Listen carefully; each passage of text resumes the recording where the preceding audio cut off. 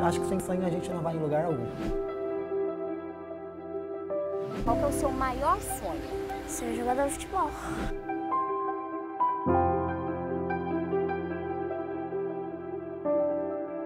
Poder dar um futuro melhor para minha mãe. E para todo mundo da minha família. Meu sonho é ter uma casona com todo mundo da minha família, tudo junto, sabe? Você já parou para pensar o que te move todos os dias? O que te faz acordar e encarar o que tiver para enfrentar?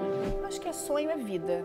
É, o sonhar é se sentir vivo, é entender que eu ainda tenho motivações que me levem a realizar algum desejo, né? a, que me levem a entender que é possível é, me sentir feliz com algo que eu desejo. São as buscas pelos sonhos que movem todos os dias bilhões de pessoas. E o mundo está repleto de sonhadores. Todos os sonhos que eu tive até hoje eu consegui realizar. E eu tenho dois sonhos ainda no esporte que eu tenho certeza que eu vou concretizar, que é um dia representar o Brasil nos Jogos Olímpicos e quem sabe um dia ganhar a corrida de São Silvestre. Aí eu posso encerrar minha carreira que eu já consegui realizar tudo que eu sonhava.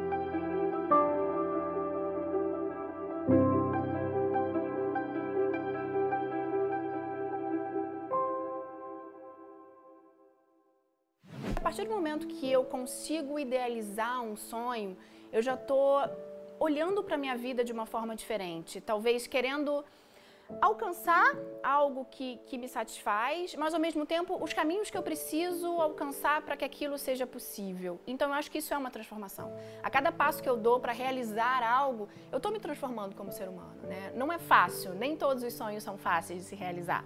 Alguns são mais palpáveis, outros menos, mas todos eles demandam esforço. O Mateus sabe bem disso, do que é se esforçar. Só que a vida que nunca foi fácil também ensinou esse rapaz a não desistir. Porque eu tenho um sonho e eu vou correr atrás desse sonho até eu conseguir, assim, sabe?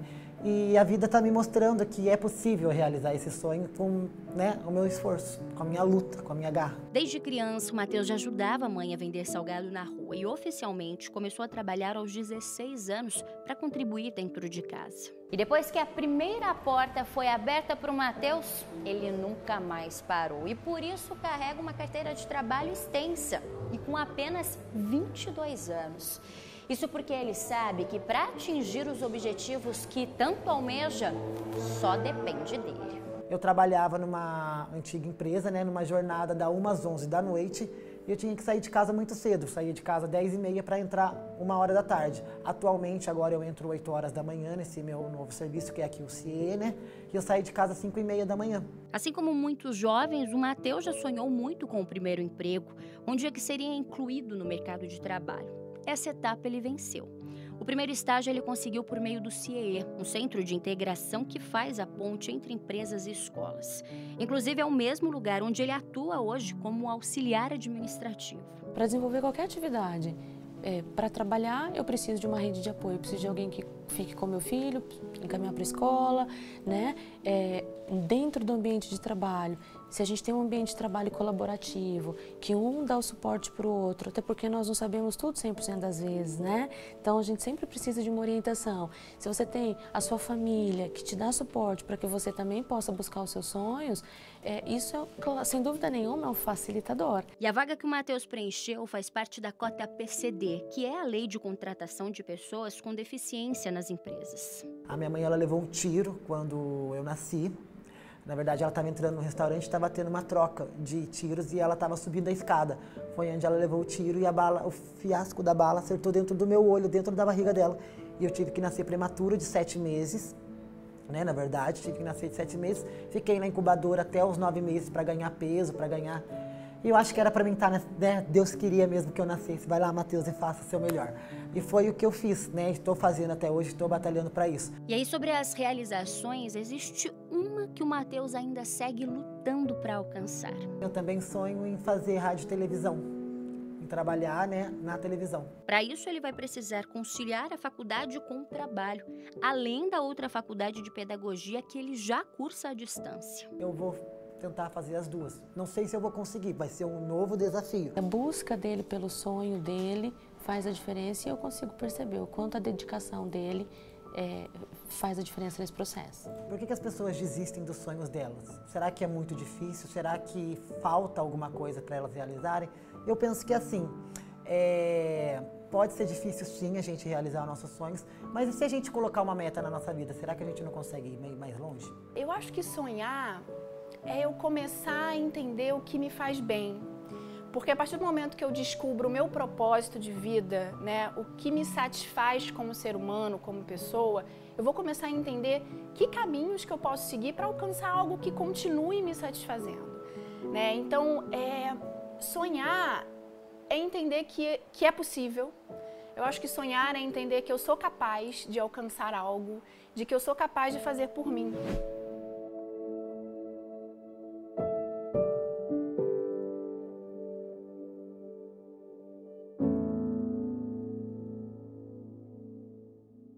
A do Jones, por exemplo, está no esporte. Ele é atleta. As medalhas e os troféus mostram que a corrida é mesmo uma paixão por aqui. E olha, o que a gente está vendo é só parte do que o Jones já ganhou. A outra metade alcançada fica na casa da mãe, lá no interior de Minas Gerais. Quando eu comecei a correr, ela preferia que eu chegasse com o troféu em casa do que com dinheiro. Ela falava, meu filho, traz um troféu para mim. Aí eu, tá tudo lá guardado com ela. Hoje ela mata a saudade minha vendo os troféus. E pelos objetivos, o Jones precisou morar longe da família. E hoje lembra como foi difícil começar a acreditar no seu sonho de ser um atleta, de ser um maratonista. Eu morava no interior de Minas, né, nos mais, município de Inhaúma, até meus 16 anos, que é um vilarejozinho, deve ter 400 habitantes. E até meus 16 anos eu trabalhei na roça, né, cortando cana, é, arando terra, com, guiando boi para poder plantar cana, capim. Trabalhei de servente pedreiro três anos. E nessa época eu sofria muito no serviço, né? E é, era uma dificuldade muito grande. E eu vi no esporte a única maneira de eu conseguir mudar de vida e tentar ajudar meus pais a sair da dificuldade. Comecei a criar aquele sonho. Aí nisso, como eu não tinha tempo de treinar, que eu trabalhava de servente pedreiro, eu, eu, os primeiros dias eu não tinha tênis, aí eu, eu colocava minha marmitinha do lado, pegava minha botina que eu usava para trabalhar, ia correndo 4 km por serviço, trabalhava o dia todo de servente pedreiro, Aí depois voltava esses 4 quilômetros, tomava banho ia pra escola e fiquei nessa rotina aí durante uns seis meses. Na primeira corrida ele conquistou o sexto lugar. Foi uma explosão de sentimento. Sentimento que ele quer pro resto da vida. Essa certeza toda trouxe esse sonhador até Lorena. Na cidade do interior paulista é onde ele mora e treina atualmente. Mas o coração continua lá onde estão as suas origens. Tem dia que eu desaba chorar aqui, mas aí a gente tem que respirar fundo, contar até 10 e pensar que a gente tá passando isso para poder ajudar eles, né? É daí que eu tiro força. Eu lembro da minha mãe lá trabalhando, meu pai, aí eu até me emociono, né? Aí que eu tiro forças para poder vencer.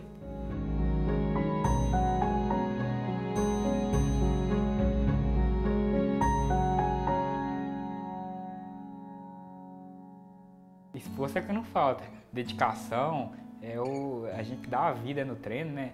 É, tem dia que a gente falta um pouco desmaiar no treino, mas a gente pensa sempre no que a gente já passou, nos sonhos que a gente tem e estamos aí na luta, treinando. Eu guardo uma frase comigo do Bernardinho, é até multicampeão no vôlei, que ele fala que dedicação é a ponte que liga nossos sonhos às suas realizações, né? Aí essa frase está na minha cabeça sempre que a dor bate. Aí eu falo, não, eu vou me dedicar que tudo que eu sonhar eu vou, eu vou realizar. Essa moça bonita que está sempre do lado do Jones é a namorada dele. A Cíntia também carrega no coração um desejo de ser uma grande maratonista. É por isso que para esse casal o dia começa cedinho. Debaixo de sol ou de chuva, não tem desculpa. E olha que essa dupla ainda faz faculdade de educação física. O curso vem da bolsa de estudos conquistada por meio do resultado do próprio esporte. E claro, de muito esforço. Eles treinam seis dias da semana, duas vezes por dia. Eu atuo na vida do Johannes hoje como professor mesmo, é, como técnico ou treinador, mas assim, é, o meu principal objetivo é direcionar ele e tentar fazer com que ele não é, é, faça os mesmos erros aos quais eu, fui, eu, eu cometi, no sentido de, das más orientações, é, onde muitas coisas as quais foram feitas é, eu como atleta, que ele não precisa fazer. O Caetano, que hoje é professor de educação física, já foi atleta de elite.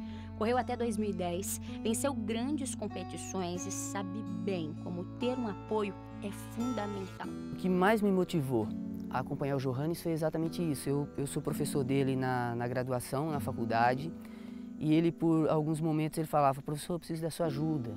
E eu via nos olhos dele que ele precisava de fato. E mesmo longe da família, o Jones vai tendo a prova de que, por mais longo e difícil que seja o trajeto, ele não está sozinho nessa. A gente se conheceu em Minas, né? Eu fui participar de uma corrida perto da cidade dela e nisso eu precisava tirar uma foto e não conhecia ninguém na prova no dia. Aí eu vi uma moça na frente do pódio, eu achei ela bonita, né? Mas sem nenhuma intenção. Aí eu falei, ô moça, tira uma foto para mim, por favor. Aí ela tirou a foto e depois disso, ela me mandou um convite no Facebook, a gente começou a conversar. Hoje já tem cinco anos e meio que a gente já está junto. E aí, sabe o que torna os sonhos mais bonitos? A oportunidade que eles dão de experimentar e entender o que é a gratidão. Eu acho que é uma troca, né? Eu apoio ele, ele me apoia. E para você, o quanto que isso é importante para você?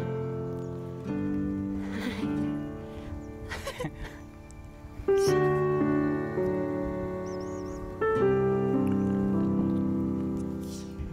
para mim é uma inspiração, né? Tem um motivo ver a, a determinação dele, né?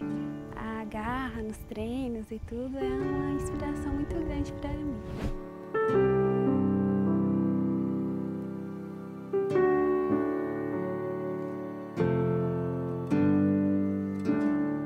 A Cintia é, é o meu braço direito, né? Ela tá sempre do meu lado quando eu tô triste, com saudade da família, ela me dá um abraço. Aí ameniza a saudade e o professor Caetano é que é, tá me orientando, tá fazendo de tudo para que eu me torne um, um atleta aí de, de renome nacional. Eu sou muito grato a ele. São esses dois aí que são os meus pilares.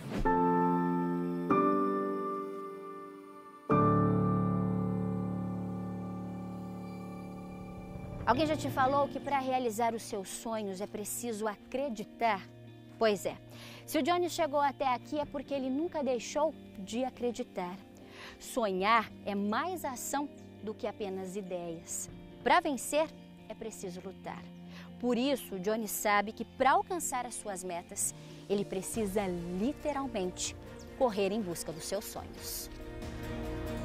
Hoje, meu maior sonho é ganhar a corrida de São Silvestre, que é o sonho de qualquer atleta que participa de provas de fundo, né? E meu grande sonho é esse. Chegar lá na Avenida Paulista e cruzar a linha de chegada em primeiro lugar. Eu não tinha perspectiva nenhuma de vida e, e o esporte mudou minha vida. Parece que eu fui escolhido a dedo por Deus e, e consegui conquistar o que eu conquistei até hoje. É um sonho maior que se tem para você. É um sonho maior. Eu ainda, eu tenho certeza que um dia você vai me entrevistar ainda indo para a Olimpíada, se Deus quiser. Meu, meu grande objetivo é esse.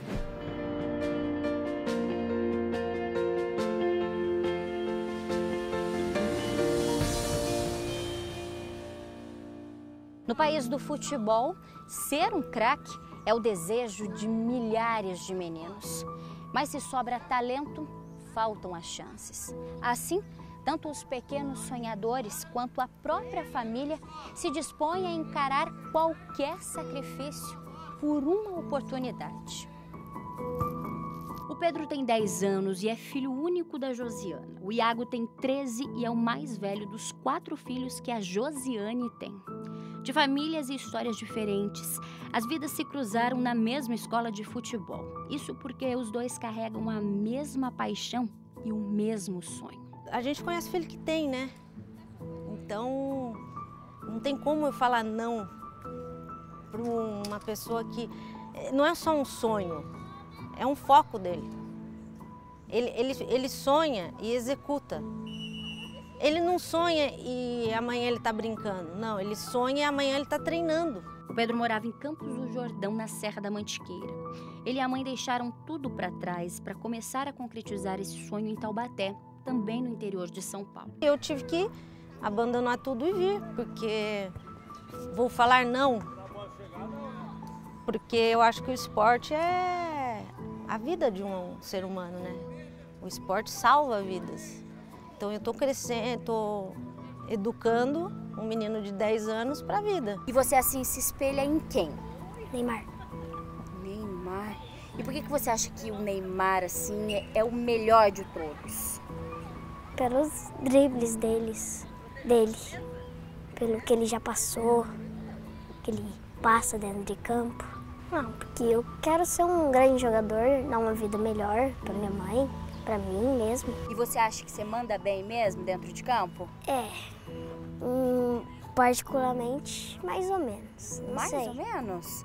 Acho que você tá sendo humilde. Me falaram que você joga bem. O que, que você acha? Pode ser. Pode Bem, ser. Jogo bem, vai. E se falar de sonhos é falar de uma motivação, de uma necessidade dentro de nós seres humanos, então esse sonho é natural. E pode ser refletido no brilho do olhar e na emoção, ainda que seja na vida de uma criança de apenas 10 anos. Eu fico.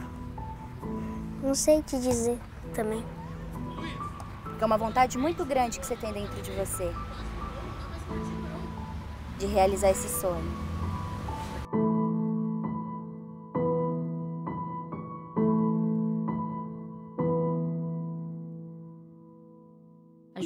Por exemplo, também gostaria de acompanhar de perto os passos do Iago, mas as dificuldades financeiras não permitem. Mas eu agradeço muito, primeiramente, a Deus, né? Porque acho que é um talento que ele tem, porque não- eu não entendo muito não, mas muita gente fala que ele joga bem, os professores acreditam nele. Eu gosto muito de jogar bola, eu não penso em fazer outra coisa além de jogar futebol. Futebol também é a melhor coisa para você esquecer dos problemas, qualquer coisinha que acontece, futebol é a melhor coisa, porque você esquece de tudo. E assim, o que eu puder fazer para ele, ele sabe que eu vou fazer, né? Porque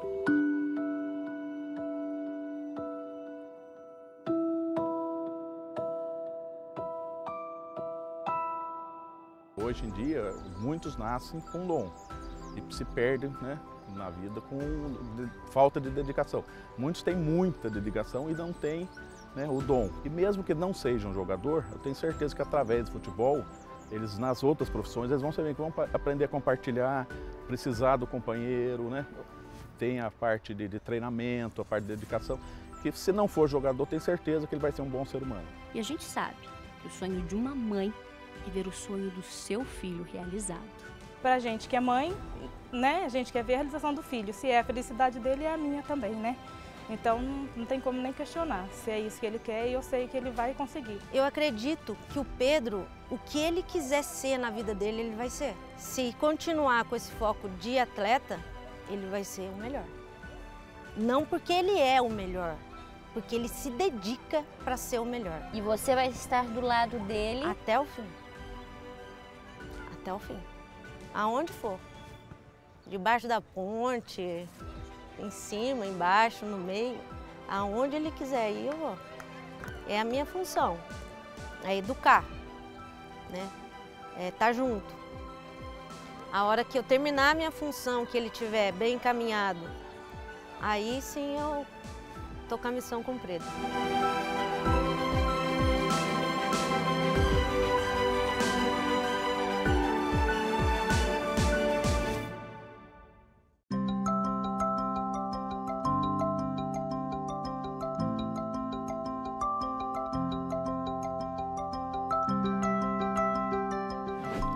Acreditar no sonho já é difícil. Você acreditar que dá para viver aquilo, que dá para realizar, já é difícil.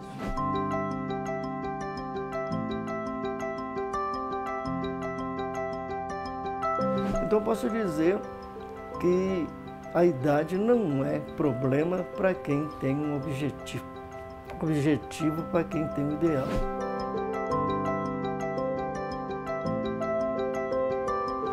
Palavra para descrever, né? É só de você ver a alegria das meninas, de saber que ali ela tem um quartinho delas, que não, não vai sair- precisar mais sair daqui, que vai ter a segurança dela. Isso é maravilhoso, não tem palavra para descrever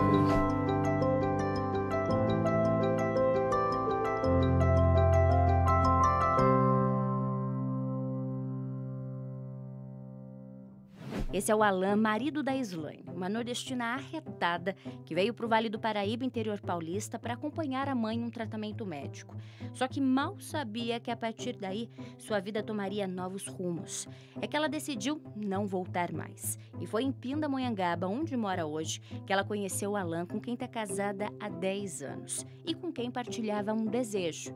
Desejo que, na verdade, é o de inúmeras pessoas é que na lista o sonho da casa própria é prioridade para muita gente. Grande parte dos brasileiros tem o desejo de, antes de qualquer coisa, ter o seu espaço, ter uma casa para chamar de sua. Eu intimei ele, porque eu fui morar com a minha sogra. E minha sogra não, não dava para conviver, eu sou pavio curto. Ela também era. Aí eu falei pra ele, ó, tem uma casinha ali que tá barata, então não vai lá. Aí ele falou assim, mas aquela casa é muito feia, muito velha. Eu falei, não importa, se você não entrar naquela casa, eu pego o meu ó, o avião e vou-se embora. Aí foi quando ele decidiu, né, alugar a casa e a gente foi morar junto, né, lá. Passamos o aperto feio, né? Aperto, Nós entrou na casa sem nada, é contando só com a sorte, Sim. né? Eu sempre quis, né, só que homem, eu não sei se homem é mais medroso, não sei que ele é, não se joga. Eu passei no negócio onde tava é, vendendo um apartamento. Eu falei, vamos entrar aqui. Ele falou, você vai entrar? Você vai entrar sim, vamos saber como é que funciona esse negócio aqui. Eu quero saber. E para piorar, a burocracia fez com que a conquista por esse sonho fosse ainda mais demorada. Foi preciso começar do zero cada vez que o contrato vencia por conta de complicações. Eu mandei já rasgar o papel, eu falei assim, ó, cancela esse negócio. Aí a Michelle falou, mas vai pagar multa. Se eu pago a multa que for, mas eu não quero ficar nisso mais não enrolação demais, eu não tenho paciência não, pra mim as coisas são pra ontem, entendeu? Aí vai pra você ver que sonhos, né, não só ser da noite pro dia. Talvez seja por isso que o sabor de um sonho realizado seja único. Foi bom, foi muito emocionante, né, Ana? Foi, foi. As meninas também gostaram, as meninas já ficam ide idealizando como seria o quarto, né, que eu ia pintar, então foi uma coisa contagi que contagiou todo mundo. Vale a pena sonhar? Vale, com certeza. Vale a pena. Vale a pena sonhar, vale a pena planejar e realizar o sonho. É uma coisa que não tem preço, uma coisa maravilhosa.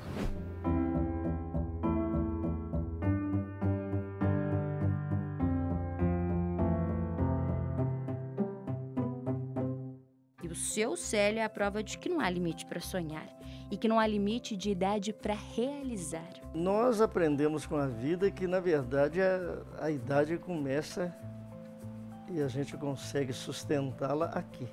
Né? Já tem um pensador que diz de todas as partes importantes do corpo humano, a mais importante delas é o cérebro. E o cérebro, ele precisa de ser exercitado. Porque se o cérebro não for exercitado, ele atrofia. E um cérebro atrofiado não serve para nada. Seu Célio foi criado em uma casa com mais 14 pessoas. Era o único homem entre duas irmãs. E o máximo que conseguiu foi aprender a ler e escrever. Eles achavam assim, aprendeu a escrever o nome já tá bom. Eu preciso dele trabalhando. Precisava da minha mão de obra junto com os primos trabalhando e não estudando. Então, quer dizer, eu me lembro como se fosse hoje, quanta tristeza me dava. Às vezes o lápis acabava, eu tinha que pedir com os colegas, o lápis dele estava na metade, eles já colavam um lápis novo e me davam aquela metade para mim, o meu estava assim, agarrado na mão. Caderno era uma tristeza. Chegar perto do pai para pedir um caderno era um maior sufoco. Ele passou a vida trabalhando. Sempre teve hora para entrar, mas nunca para sair. A vida levou para um caminho distante da escola. Foi quando bateu na porta a possibilidade de recomeçar. O grande sonho da minha vida, no caso, é apoderar-me de um conhecimento que me desse condições de, na sociedade, discutir de igual para igual. E comecei a pensar no meu sonho, eu tenho que ressuscitar esse sonho. Eu diria que a vida é feita de recomeços, né? A gente não, não vira de ano à toa, né? Então, é, cada ciclo é um recomeço. E, e, é muito bom a gente saber que é possível recomeçar. Porque isso dá gás, isso dá vida. E como faz parte, né, seu Célio?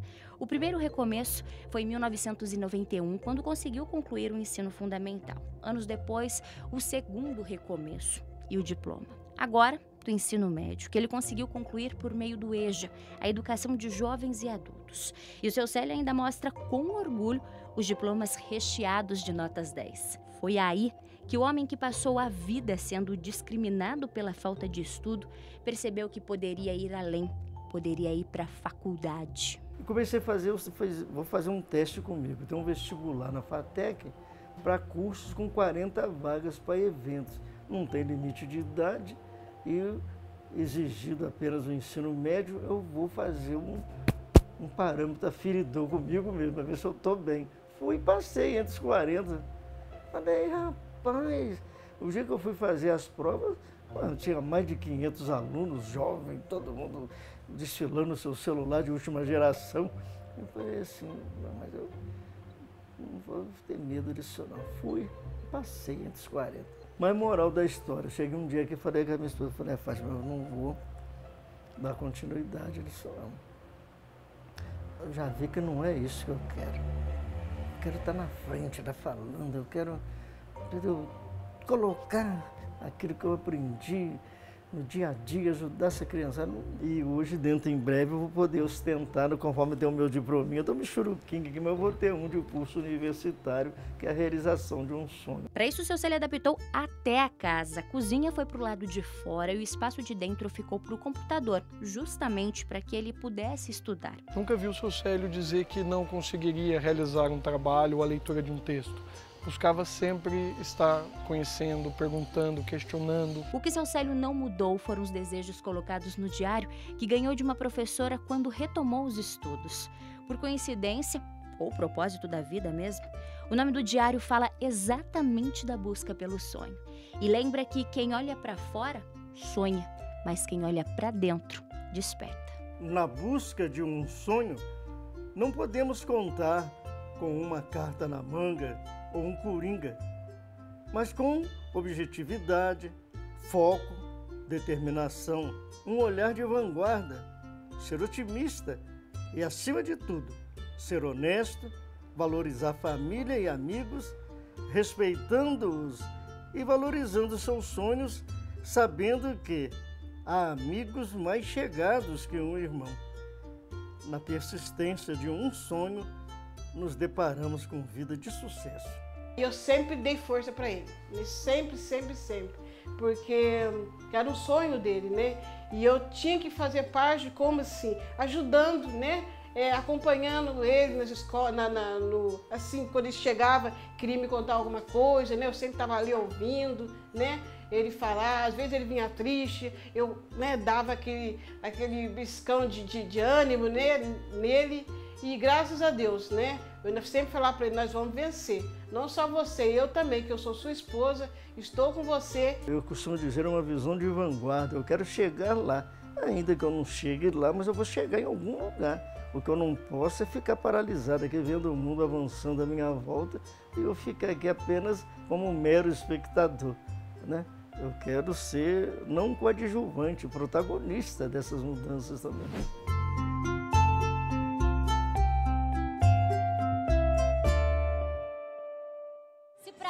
Toda luta há uma recompensa, então para todo sonho, ou melhor, para toda busca de um sonho, há uma concretização. Olha o seu Célio aí, a caminho do seu tão sonhado protagonismo. E claro que a família que apoiou, que acreditou e que foi peça fundamental nesse trajeto aqui não poderia faltar. Tava todo mundo em peso. É um momento que a gente está muito feliz, é um sonho dele, né? Muito tempo e a gente sai para apoiar, né, cada dia. Então é um, é um marco na vida dele no dia de hoje, né? É um momento célebre, poderia se dizer. Está muito feliz. Curtindo cada minuto, o sorriso no rosto do seu Célio já era a resposta do quanto valeu a pena chegar aqui. Agora, o que ele não imaginava é que todo o empenho e dedicação desses últimos anos o levaria a ser um dos homenageados da turma. É, entre os professores, quem geralmente são os homenageados, lá estava o seu Célio.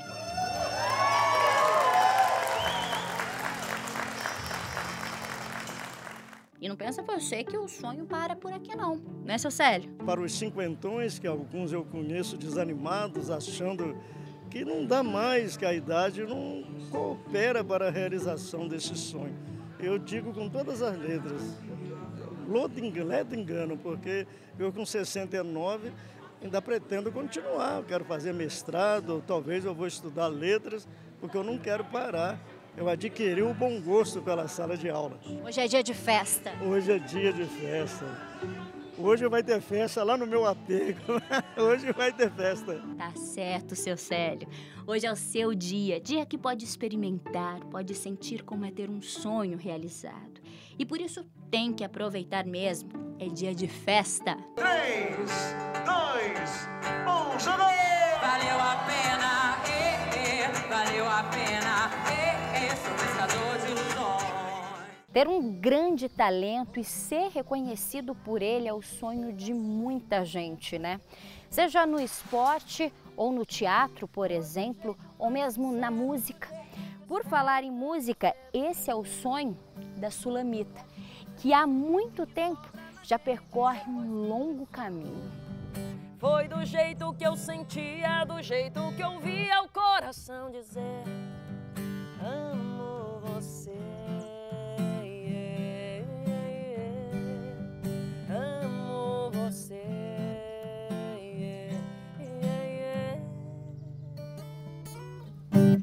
Muito bem, lindo. Chama Monólogo, foi a última música. Uma composição sua. Olha só. E já são quantos anos de carreira, Sulamita? Então, que eu comecei a trabalhar profissionalmente, assim, seis, uns seis ou sete anos. Mas é um talento que está no sangue. Desde criança você já tinha essa ligação muito forte com a música. Sim, a gente sempre teve um violão em casa, né? E quando que você tomou para você que esse era o seu desejo, que esse era o seu objetivo de vida, assim, é viver de música, poder realizar tudo que você tem para realizar na sua vida a partir da música? Então, é, depois de a- alguns acontecimentos, eu a hora que chegou na fase que eu tinha que cuidar de mim, tinha que cuidar da minha filha, né, sustento da minha casa, é, eu comecei a trabalhar com propagandas de propagandas eleitorais, jingles para rádio, né? Aí o pessoal começou a falar: "Nossa, você canta bem. É, por que você não monta um repertório e vai trabalhar com música?" E comecei a apresentar meu, meu, meu trabalho, né, para os donos de bares, os contratantes de show em geral, assim, casamento também, né, a gente faz. E comecei a viver de música. Ela é fantástica, canta super bem aí. É uma celebridade nossa aí da cidade, Sulamito Caetano. O sonho da Sulamita ganhou dimensão depois da oportunidade de participar de um programa aqui da TV Aparecida. A cantora Ládio Lavrinhas ficou conhecida em todo o Brasil, já que foi uma das participantes da última edição do Revelações. Já cansado de tanto sofrer, esta noite eu dormi um pouquinho, sonhei com você. Foi um grande sonho realizado. Ainda mais no momento que chegou, no momento assim que tava uma- um turbilhão de coisas tinha acontecido e a hora que a hora que recebi a ligação, falei, nossa, alguma coisa veio pra, sabe, para compensar aquele momento todo, pra para dar uma, um- uma carregada na minha energia assim e, e mostrar que a gente não pode desistir.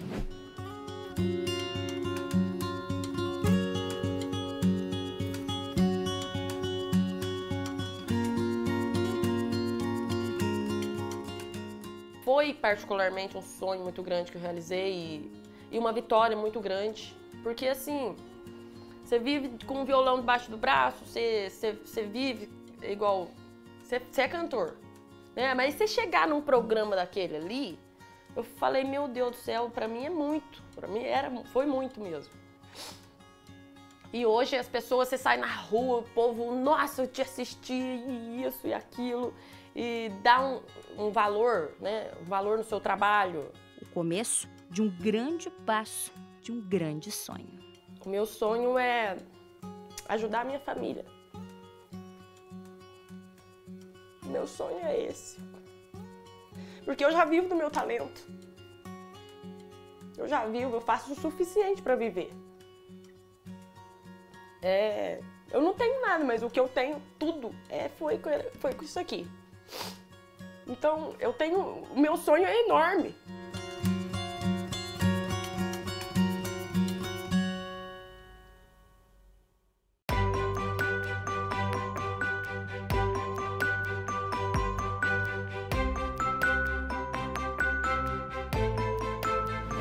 limites para os sonhos e muito menos definições.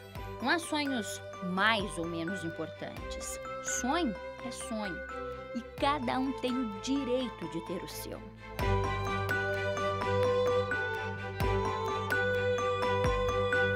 E no auge dos seus 74 anos, temos o exemplo da Eunice, que jamais imaginou que um dia fosse estar num lugar como esse, num estúdio de gravação, para realizar um sonho. Olha, eu nem imaginava isso.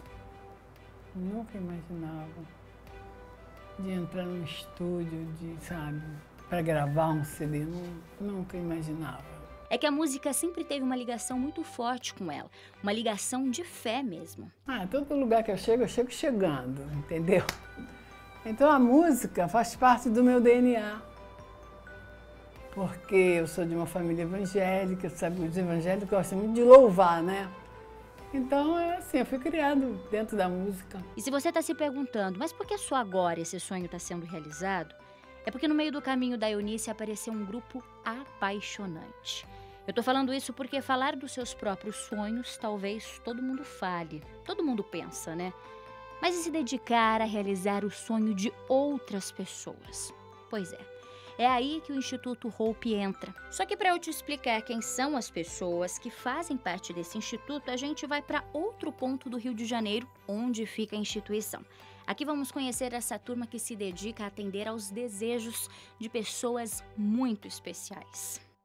Eu sempre tive vontade de ter um trabalho que eu executasse aqui, que a gente desenvolvesse desde o início, que fizesse com a nossa cara.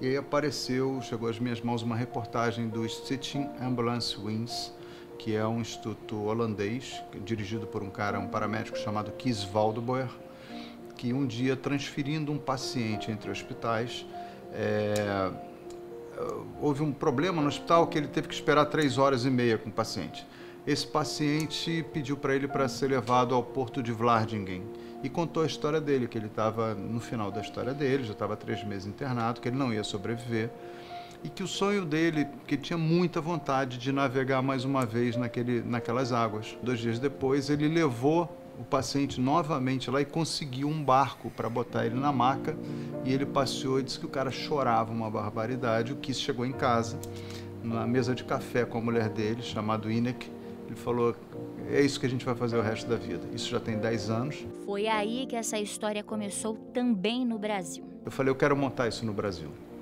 E aí, conhecendo a Vânia, que me inspirou, depois eu, a Gabriela veio direto e falou: não, também quero ir. A gente começou a pensar nessa ideia, desenvolver esse projeto. E começamos a falar o que a gente queria fazer.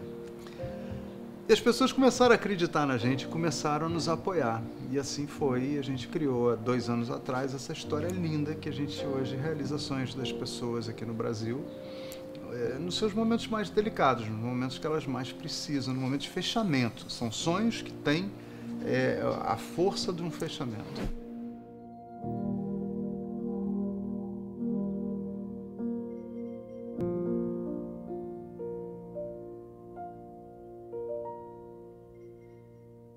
Missão do Hope é realizar sonhos de pessoas que têm doenças que ameacem suas vidas. São pessoas especiais, com histórias comuns, assim como eu ou você, mas a diferença é que essas pessoas especiais têm a oportunidade de realizar alguns sonhos inacabados. Quantos sonhos já foram realizados? Já estamos aí? chegando perto de 50. 50 sonhos. E como que foi possível tudo isso? Eu não sei te dizer. É uma coisa que aparece e, e tanto o sonho quanto a realização deles. As, as, coisas vão acontecendo de uma forma quase que mágica. Eu não sei te explicar o que, que é isso. Resultado: uma rede do bem vem sendo formada com parceiros, apoiadores, voluntários, como a Gabriela, a Maria Cristina, a Cláudia. Eu acho que já era uma busca minha anterior, sabe? Eu fiz um pouco de voluntário, voluntariado no, no Pedro Ernesto, uma época. E, e sempre estava procurando alguma coisa, porque eu sei como o retorno disso para a gente é muito grande. Uma coisa muito de querer realmente essa, esse retorno para mim. Aí, quando ela me falou do Hope, eu me inscrevia e, e tem procurado acompanhar. É muito bom. Ao todo, são 30 voluntários que se envolvem diretamente, fora as outras pessoas que também se mantêm próximas de prontidão. É impressionante como é automático. Esse pessoal que se, que se aproxima da gente é uma entrega muito imediata, muito automática. É muito bacana isso. A emoção que rola entre a gente quando a gente está junto, sabe? É só gente muito do bem mesmo. E a partir de março, a iniciativa começa a ganhar espaço também na cidade de São Paulo. Além disso, já existe interesse em levar a ideia para Brasília, para o Nordeste até para fora do país, lá em Portugal. Então, assim, é um aprendizado ver como cada um ali dos sonhadores lida com, esses, com essa dificuldade e como ele se comporta diante daquilo, né? Isso é uma lição, assim, diária, né? Que a gente acaba trazendo para gente, para os nossos filhos, para a família, para os outros amigos. Então, parece uma onda, assim, que né, que contagia, porque quando você está envolvida no processo, você também fica feliz em compartilhar isso com as pessoas que estão ao teu entorno. Né? Hoje o Hope não tem uma sede e nem dinheiro certo que eles possam contar todos os meses, mas nem por isso eles deixam de sonhar. E 2019 deve ser um ano de muito trabalho para muitas realizações de muitos sonhos. Nesses dois anos, a gente foi fazendo a coisa de uma forma, eu vou te dizer assim, meio amadora, no sentido é, de fazer tirando do nosso bolso, da ajuda das pessoas, é, sobrevivendo de uma forma sem muita estrutura, mas a gente entendeu que esse ano realmente a coisa precisa mudar. A gente precisa ter uma estrutura mínima, a gente não quer ser muito grande, ter um escritório enorme, não é isso, mas uma estrutura mínima a gente precisa e haja criatividade para definir esse time dos sonhos. O Roberto, por exemplo, é o diretor de sonhos, a Gabi, de assertividade. A gente sai de lá com uma alegria interna, a gente passa o dia assim, depois que a gente realiza um sonho, é engraçado, a gente fica assim o resto do dia numa alegria, às vezes não só nem só o dia, né? Às vezes um fim de semana depois, numa alegria estranha, sabe? É uma coisa assim que você fala, meu Deus, porque alguma coisa mexeu realmente lá dentro, sabe? A gente vicia nesse olho molhado, nessa nessa emoção. E todos os sonhos da gente, não tem melhor, não tem pior, todos deixam uma emoção muito forte, uma história muito forte. Chega a ser uma covardia. Agradecer a gente é uma besteira. A gente ganha muito mais do que qualquer um. É, é uma sensação única, única, e vicia. E a gente não para mais. É muito difícil de explicar porque é muito sentido, né? É, é, muita sensação, é muito sentimento, é muita emoção envolvida. Tanto como profissional, eu posso dizer do efeito que isso causa, não só na, nos sonhadores, né? O quanto que é renovador e transformador, o quanto é renovador e transformador para as pessoas que estão envolvidas nesse sonho. Porque como eu falei, quando eu, eu lido, aprendo a olhar para o outro de uma outra maneira, eu aprendo tanto com o outro. O sonho, ele faz parte do conjunto do que a gente acredita ser a plenitude da morte e do morrer, quando a gente está falando em fim de vida porque o sonho ele se encaixa em várias fases do tratamento. Mas a gente tem se focado mais hoje em situações extremas, até porque essas pessoas têm menos tempo, né? E, e então elas são prioridades.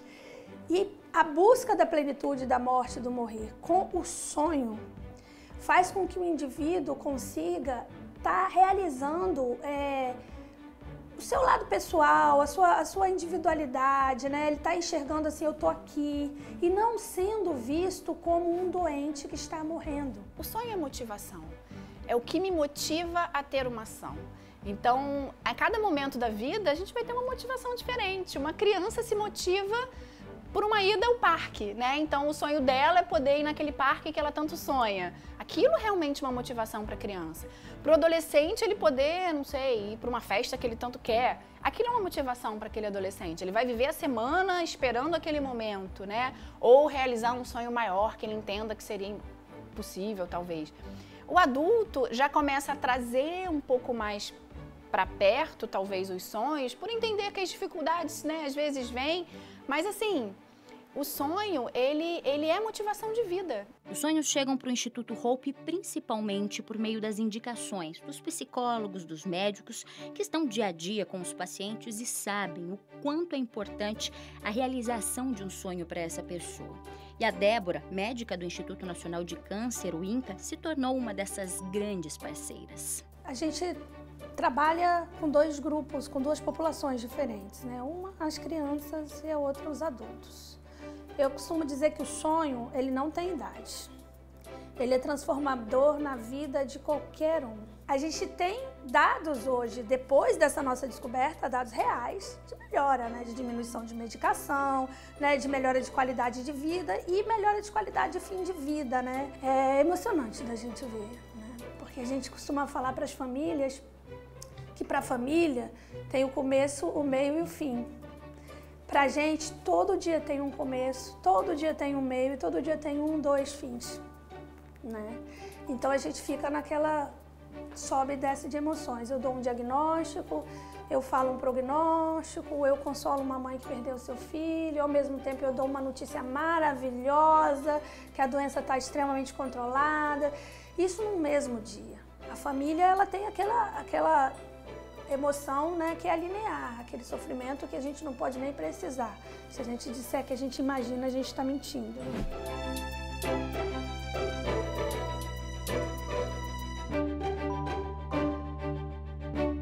Davi tem um tumor no cérebro, no sistema nervoso central, entendeu? Aonde mexe com todo o movimento do corpo, mexe com tudo. Ele perdeu a visão direita, o movimento também dos braços, que não mexe a perninha. Mas ele toca uma vida normal, entendeu? Uma vida tranquila. Joga bola, corre, tá, tem hora que tem que amarrar ele, segurar ele, que tão, tanto agitado que ele fica. Foram 25 cirurgias na cabeça, 25. E são três válvulas que ele tem, entendeu? Porque o tumor em si não tem como mexer nele, mas ele está estacionado, está parado lá, não está prejudicando ele mais em nada. Mas em si ele toca a vida normal, toca o terror. E esse sonhador de apenas 9 anos ainda é apaixonado pelo Flamengo. Que sonho que você tinha? Que sonho que você queria realizar? Ver os jogadores do Flamengo. Por que, que você tinha um sonho de conhecer os jogadores do Flamengo? Porque eu gosto muito, eu gosto muito deles. Você é flamenguista roxo, então? Sou. E coloca roxo nisso. Tanto que foi aí que o Hope entrou nessa história. Na verdade, é que esse professor de educação física, o Bruno, entrou não só na realização desse sonho, como também na vida do Davi e da família dele. Primeiro fui convocado pela Mariana, que é minha namorada. Ela me convidou para tentar fazer a parte de, da realização do sonho de uma pessoa. E através dessa realização, eu fiquei muito, muito empolgado em participar efetivamente e fui convidado para fazer parte também do grupo. Tem esse cara aí, ó, não é não, Davi?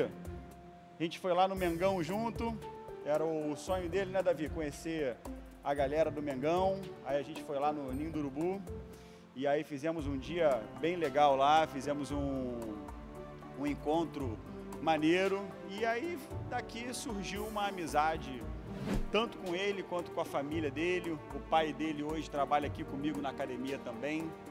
E eu fico muito feliz de poder estar próximo, estar participando. Estava desempregado há quase sete anos entendeu? Até por conta do probleminha que o Davi tem, que leva muito tempo nosso, e o Bruno abriu essa oportunidade para mim aqui na academia.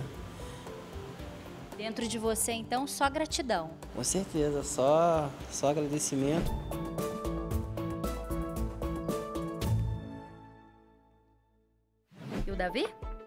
Davi, depois que conheceu o time do coração, que pode entrar de mãos dadas com os jogadores em pleno Maracanã, o estádio mais famoso do mundo, assistiu o jogo de perto, ganhou camisas autografadas e agora é sempre convidado a visitar o time.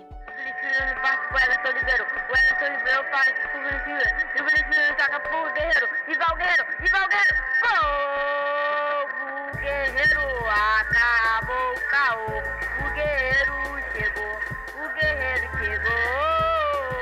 As coisas foram acontecendo, o tratamento foi evoluindo, a doença foi diminuindo de uma tal maneira que assim, eu não sei explicar, os médicos também não sabem explicar, entendeu? E a gente só de ver a alegria dele, a agitação dele, eles falam, a gente não tem o que dizer, só vamos agradecer a Deus e eles olham assim sem resposta pra gente. Dá uma vaga aí pra mim ser o técnico Pô, botar, derrubar o técnico, junto com... Ah, com o técnico? Você quer treinador? Enquanto o pequeno Davi segue na magia das lembranças do seu sonho, quem agora está experimentando o sabor dessa realização é a Eunice. Lembra dela? Aquela aposentada que sonha gravar um disco? Então, não pense que ela está inibida com a novidade, não.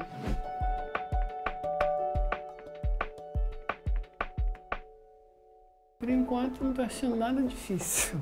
Porque tem muita ajuda, a garota me ajudou aqui pra caramba, né? Eu não tô achando nada difícil não. A Eunice conheceu o pessoal do Hope na clínica onde faz hemodiálise, três vezes por semana, durante quatro horas no dia. Eunice tem insuficiência renal crônica, também chamada de doença renal crônica, que é a perda do funcionamento dos rins. Eu não vou dizer que é indolor, porque tem, mete duas agulhas aqui, aí na espetada a gente sente, né? Aí depois que termina o procedimento, tem uma tal de renal que dá uma injeção na barriga da gente também. Mas fora disso, só picadinha da agulha. É assim mesmo. Mulheres de garra não costumam ter medo da luta. Ela que sempre batalhou muito na vida, foi mãe solteira e nunca teve medo de buscar a melhor educação e formação para o único filho.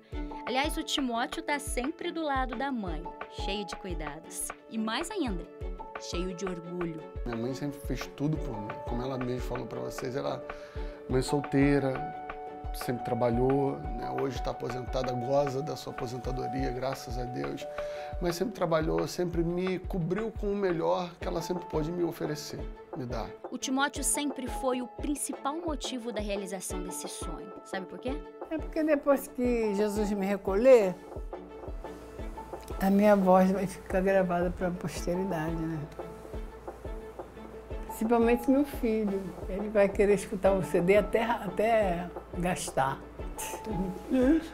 Com certeza, tenho certeza disso. E para quem nunca tinha entrado em estúdio, até que a Eunice deu um show, viu? E o nervosismo cedeu espaço para alegria e principalmente para o talento da Eunice. Estrada longa da vida, eu vou chorando a minha dor. E não pensa você que o pessoal do estúdio pegou leve com ela, não. É coisa de profissional mesmo. Para, orienta, muda daqui, mexe dali, para de novo, volta, até que esteja tudo como deve estar. Perfeito. A gente está acostumado a ver uma coisa que a gente ama ser tratado como algo que pode ser colocado de lado. Então, na verdade, o sonho hoje não é da Eunice. Para mim é uma realização de um sonho quando cada vez que eu descubro alguém como ela que acha que música é uma coisa maravilhosa, que vale a pena cantar, viver e fazer isso, para mim a realização de um sonho é falar, opa, não estamos sós. É uma motivação mesmo interna, né? Está alinhada com os nossos valores, está alinhado com as, tá alinhado com as nossas crenças, com o nosso propósito de vida, né? Tá vendo? Tá aí a explicação por que quando falamos de sonho, falamos de vida. Falamos de tudo que nos dá certeza de que vale a pena viver, vale a pena sonhar, vale a pena ir em busca de um sonho. Quem deixa de sonhar porque já morreu. Né? Enquanto a gente está vivo, sonhar, por enquanto, ainda é de graça. Né? E quando a gente consegue realizar parte ou ele todo, é vital. Isso aqui está sendo uma experiência fantástica para mim, vida. Estou vivendo, estou vivendo.